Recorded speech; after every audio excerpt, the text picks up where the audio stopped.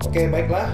Kali ini eh, kami akan coba mengupdate keberhasilan step kedua ya. Step kedua dari step satu yang pertama kita sudah berhasil mengsniff seamlessly antara eh, host ya, atau PC sebagai host ke device yaitu printer yang melalui jalur USB.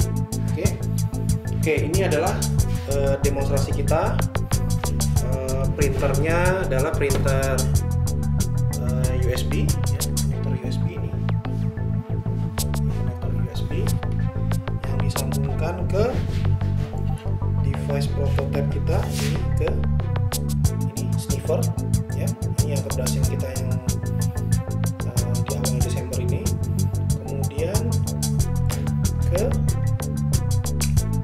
sebagai host ya.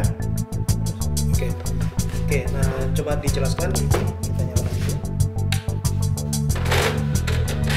Oke, silakan dilanjutin.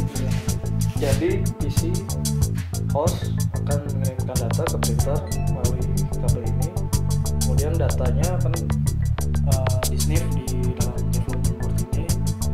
masuk dalam FPGA. FPGA melakukan filtering data dan data Apa data apa yang difilter? data yang akan di print oleh Jadi USB itu sebenarnya datanya banyak. datanya ada banyak ya. Hmm, Jadi bukan data data print yang di printer aja tapi data data cable live, ada data jenis printernya, data Hmm. serial number segala macam yang itu dikirim penting Nah, itu bisa ya. filter di semua FPGA terus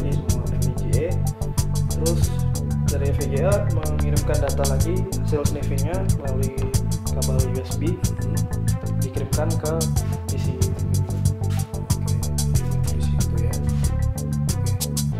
sekarang kita coba demonstrasikan ya. Coba satu kali print aja dulu. Oke.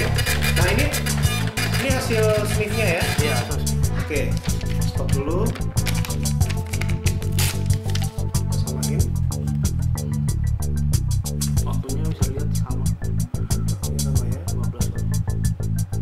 15 15 jam 15 lewat 40 51 detik. Iya. Tanggal 29 Desember. Sama nggak?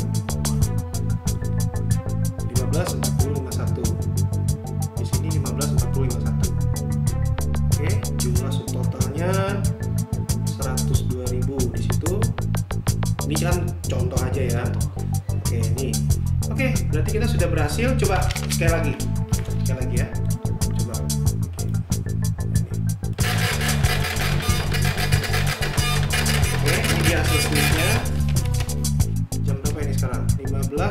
15.41.39. Ini 15.41.39. Oke, jumlahnya oh random ya? iya ada random 92.000. 52 Di sini juga 92.000. Oke, good, well done.